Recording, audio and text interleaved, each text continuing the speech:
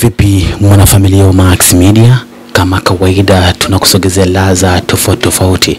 Leo tumepata bahati ya kukutana na Loveness Talemo, ni mwalimu wa jimu, lakini pia huyu ambaye unamuona au unamtizama anaitwa Loveness na ni mwanamke. Wengi walikuwa nadhani kwamba huyu ni mwanaume lakini pia kwa kinywa chake yeye mwenyewe anasema mimi ni mwanamke. Sasa tupo hapa kwa ajili ya kupata mawili matatu, tuweze kufahamu kiundani zaidi maisha yake halisi, lakini pia kwa nini anapendelea sana uh, jimu na hadi mwili wake kubadilika kuwa na mwonekano wa kiume, lakini pia ni changamoto zipi ambazo anakutana nazo akiwa amesongamana na jamii, lakini kikubwa ni kwamba kama ni mwanamke, je, ameolewa kama ameolewa ana watoto, lakini pia kama hayupo kwenye mahusiano kama ambavyo watu wengi tunafahamu. Hiki ni kubwa ambacho watu wengi wanatamani sana kufahamu. Kama ni mwanamke, je, yupo kwenye mahusiano na yule mtu ambaye yupo naye anajisikiaje? Hii ambavyo ulikuwa unatamani sana kupata majibu kutoka kwake, leo tupo naye live kupitia Max Media. Ah, Loveness, mambo vipi? Poa sana, mambo Uko poa kwema? poa. Okay, sawa. Eh, kwanza kabisa tujitambulishe. Mimi naitwa Loveness Stanley Tarimo. Yes. Okay, sawa. Uh, the way ambapo mtu anavyokuwa kuangalia anaona kabisa huyu hapa ah, kama mwanaume imekwaje kwaje. Kwanza kabisa nataka tufahamu uh, historia yake fupi kabisa, utupe historia yako fupi. Mimi ni mwana mazoezi. Yeah, mimi ni mwana mazoezi so lazima niwe strong. Yeah. Uh, kama nilivyotangulia kusema hapo awali, uh, nimekuwa Miss Fitness 2019 na Miss East Africa number 2 kwa ajili ya bodybuilding. Ni nabeba vyuma. Nafanya ujenzi wa mwili kwa upande wa wanawake. Yeah. Labda tungependa kabisa kwa kutuweza kufahamu kwa yule ambaye anakutizama eh, makuzi yako yalikuwaje kwaje hadi ukafika ku, ku, ku, hadi ukaamua kuwa eh, mwana fitness. Familia yangu kwanza ni ya, ya wanamichezo. Yes. So wazazi wangu wamenisupport kwenye hiki ninachokifanya mpaka nimefikia hapa. Yeah. Sawa. Makuzi yako labda ulivyokuwa udogoni ilikuwa jukwaje? Ulikuwa na muonekano ambao watu wengi walikuwa wanaushtukia sana kwamba huyu huyu kama mwanaume. Yes, nimezaliwa hivi hivi. Kama jinsi unavyoniona hivi saa hii na nilivyokuwa mdogo nilikuwa hivi. Yeah. Kuna changamoto zipi ambazo ulikuwa unakutana nazo wakati ukiwa mdogo kabisa tofauti na sasa hivi? Ah, nilikuwa naitwa dume jike. Eh, kwa sababu ya kujichanganya na wavulana kwenye swala la football. Uh, ubebaji vyuma hivyo. Yeah. Labda unaweza kutuambia labda ni nani ambaye alikushawishi ukaingia kwenye mazoezi ambayo siku ya leo tumeweza kukuona kwamba unanyanyua vyuma, ni mwanamke lakini unanyanyua vyuma. Hapana, hii ilikuwa iko ndani yangu, sijashawishiwa na mtu yoyote. Hii iko automatic kabisa yeah, Automatic. automatic kabisa kwenye damu yani. Yeah. yeah. Kwa hiyo uh, wakati kwenye makuzi yako ulikuwa unatamani sana kuwa hivi. Naona kama unachezesha eh, kifua. Ni nini? Tu- Tufahamu changamoto ambazo unakutana nazo, labda kwa sasa hivi, labda unakuta kuna changamoto ambazo unajua kabisa hizi zina zinalostisha sana. Ah, ni public toilet tu, kama nikiwa nimetoka toilet tu ndio inasumbua, hakuna kitu kingine kinaweza kunisumbua mimi, hiyo tu ndio inanisumbua. Toilet ina, inakusumbua vipi? Wanawake kushauti tu kwa nini mwanaume anaingia kunichocha kike. Sasa unajua sometimes inatia hasira eh? Eh, inatia hasira kwa sababu mimi nina akili timamu, nazungumza Kiswahili, tunaelewana. Sasa inakuwaje mimi mwanaume niingie kwenye choo cha kike? Unaona, make sense kweli?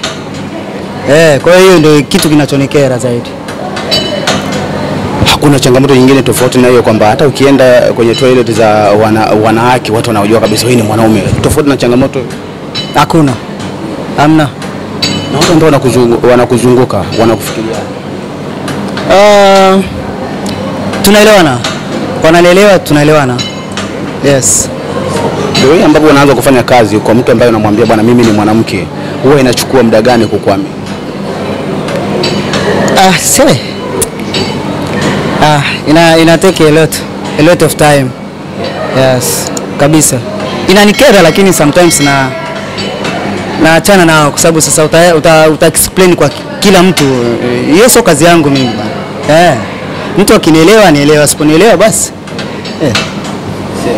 Okay, sawa. Lakini pia kuna watu ambao huenda ungetamani kufahamu kwamba mahusiano ya sasa hivi ya kwako wewe eh, yana muda gani, lakini pia kitu gani ambacho eh, mpenzi wako amefurahi sana kukuona kwa yana muda yana muda sana ana kilicho kilichovutiwa yani yeye alichovutiwa nacho kwangu ni the way I am, muonekano, respect Wewe eh, Huwa inachukua muda gani mtu kukuamini mteja ambaye anakuja kwa ajili ya kutaka kufundishwa kwako? Tumeweza kuona kwamba uh, umemfundisha Tausi. Tausi kwako mmefahamiana vipi?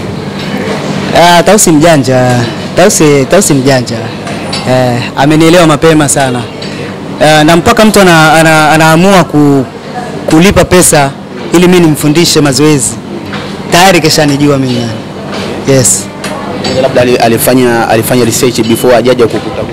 Yeah, tayari tayari tayari kisha. Kitu gani ulikupenda kwa Tausi au Tausi alikuja kwako kwa ajili ya shida gani?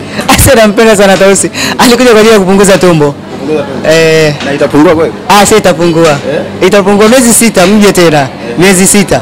Mwakani. Miezi sita. Kwanza ale sikukuu. Biriani biriani hizi mwakani kuanzia Januari mpaka mwezi wa sita. Yeah. Mwambia mtu miezi sita kupunguza tumbo, uone kwamba una una una unamfanya mtu awe anajisikia kwamba ah, kumbe kupunguza kutumia muda mrefu sana. Yes. Kwa sababu kile uh, tunakula muda wote. Muda wote tunakula. Na tumbo linakuja wakati wa usiku. Asikwambie mtu. Vyakula tunavyokula usiku ndio vinasababisha sisi kupata vitambi. Unakula afu unalala. Eh. So kwa miezi sita ni rahisi sana yeye kutoa. Ni rahisi. Ase nitamshikilia mpaka itoke. Itatoka hiyo. Labda gharama yake ipoje? Mtu ambaye anakuja anataka kumfundisha. Ah, uje kiofisi zaidi. Tutazungumza. Yeah. Okay. Yeah. Kuweka mwili wako huo hadi sasa hivi umetumia labda muda gani au ulitumia muda gani hadi kuwa hivyo? Ase katika ujenzi wa mwili na take a lot of years na uvumilivu. Yes, muda mwingi sana nimechukua, miaka mingi sana. Yeah. Nimekuona kwenye picha umevaa kama bikini, ilikuwa jikwaje Na kama ulikuwa unatunisha msuli, ile ilikuwa ni ma- masosi Ile yalikuwa ni mashindano uh, yalifanyika Kenya, Eldoret, mashindano ya East Africa bodybuilding, ndio nikachukua nafasi ya pili.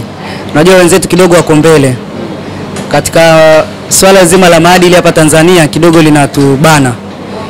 Kwa hapa Bongo huwezi vaa vile eh, lazima utavaa tight, lakini kwa wenzetu huko tayari washafika mbali sana.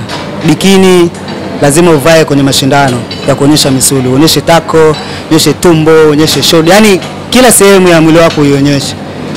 Yes, ilikuwa inafanyika ni wanawake tu, wanawake na wanaume. wanawake na wanaume. Yes.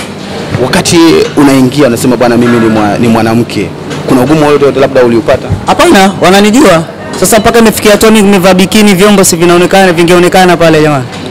Eh, hey, vyombo vingeonekana pale eh, hey, ndo wangeletea shida, lakini mimi ni mwanamke eh. Hey. Ulipata ushindi wangapi? Nichukua nafasi ya pili. Yes. Kitu gani labda kilikufelisha hadi ukashindwa kuchukua nafasi ya kwanza? Mcheza kwao utunzwa mzee. Eh, mcheza kwao utunzwa, yani tulizidiana kidogo tu. Eh. Lakini maisha yapo vizuri kabisa, ulipata mkwanja wa. Ah, hapana. Nilipata elfu hamsini ya Kenya ambayo ni kama milioni moja tu hivi ya bongo. Lakini maandalizi- maandalizi yake yalikuwa ni makubwa kuliko kubwa zaidi kuliko yeye. Na tunafanya hivi sio kwamba tuwe washindi tu wa kwanza. Tunafanya hivi ili tuweze kuja kuwa walimu hapo baadaye wa kufundisha watu wengine.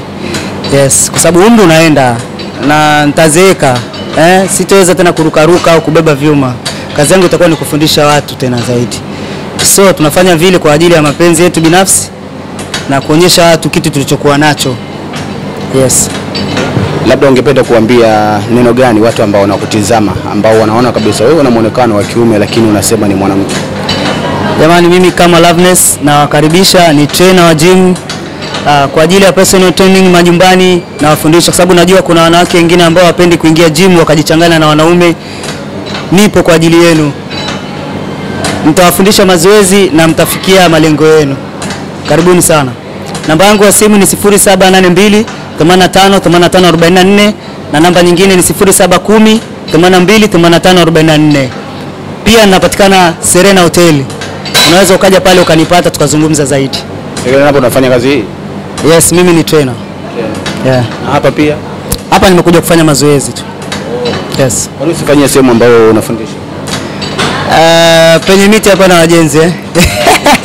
hapa kidogo kuna eh, nakutana na watu tofauti tofauti tunawaliamsha, si unajua eh, Lakini vipi kuhusiana na ndugu zako? Uh, ndugu zako wanalichukuliaje hili baada ya kuona kwamba upo hivi, lakini pia wanasema wananisupport wananisupport sana Yeah, wananisupport sana.